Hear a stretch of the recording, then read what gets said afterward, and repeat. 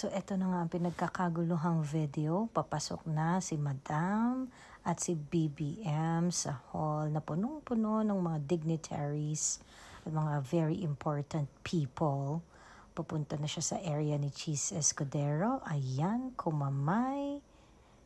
Kinuha ang champagne, ininom, sinoli kay Cheese tumalikod at chumika-chika somewhere. Ayan. So, kung mapapansin nyo, si Cheese Escudero, gigil na gigil na siya na iswirl ang kanyang drink.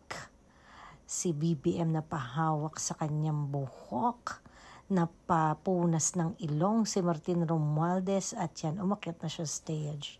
Closer look. Ayan, kinuha ang champagne.